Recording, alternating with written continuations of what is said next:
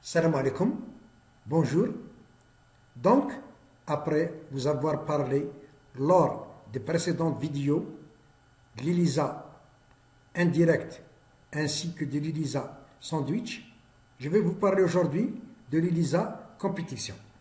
En premier, on doit retenir que l'ELISA compétition peut nous permettre aussi bien de rechercher des anticorps que des antigènes.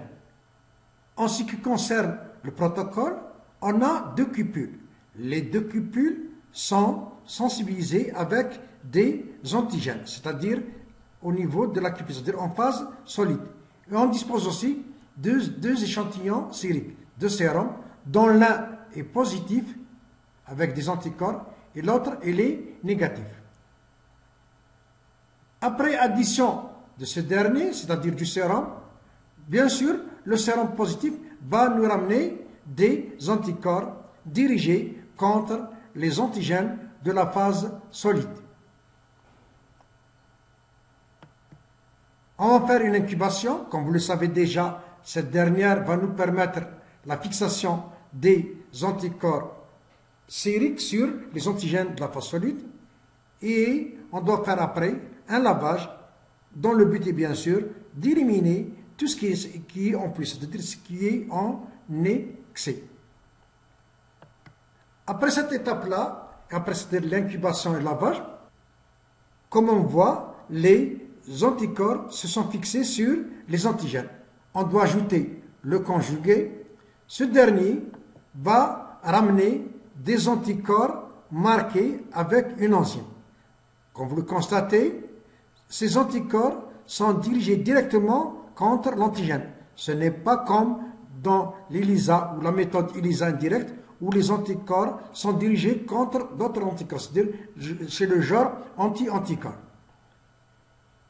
Ce qu'on doit faire aussi dans cette étape-là, c'est-à-dire c'est de faire encore une incubation.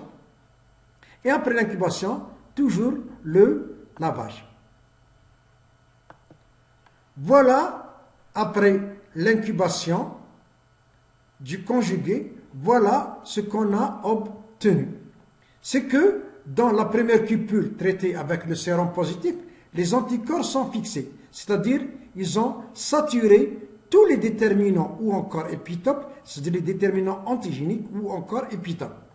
Alors que dans le cupule négatif, comme les antigènes étaient, libres, les anticorps marqués sont venus pour se fixer sur ces antigènes pour permettre de, démontrer l'immobilisation de cette enzyme sur le complexe antigène-anticorps, c'est-à-dire le complexe qui est constitué de l'anticorps marqué et de l'antigène, on doit ajouter le substrat. Donc, aussi après addition du substrat, on doit toujours incuber. Simplement, lors de cette incubation, il n'y a, pas nécessité de faire un lavage. Donc, après l'incubation, on doit faire la lecture.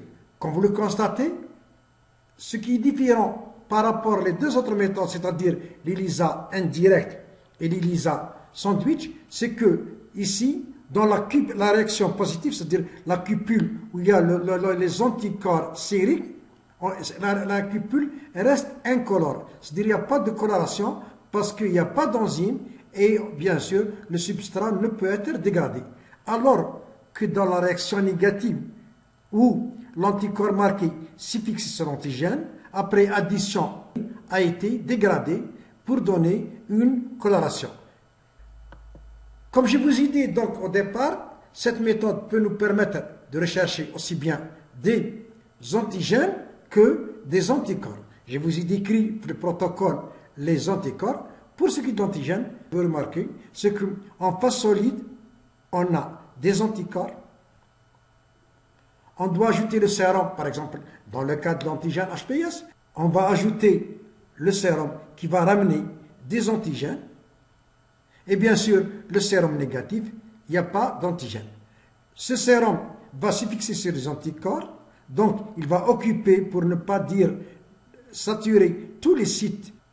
Après quoi, on va ajouter le conjugué, donc, puis le conjugué. Ce dernier va ramener des antigènes, des antigènes marqués. Bien sûr, ces derniers, ces antigènes marqués, ne peuvent pas s'y fixer dans cette cupule parce que les antigènes sériques ont, ont occupé tous les anticorps. Alors qu'ici, les anticorps sont libres, ces antigènes se sont fixés, ce dernier va être dégradé avec une obtention de coloration. Donc, la réaction négative, la cupule, elle est colorée, et la réaction positive, elle est incolore. Merci pour votre attention, et aux prochaines vidéos, Inch'Allah.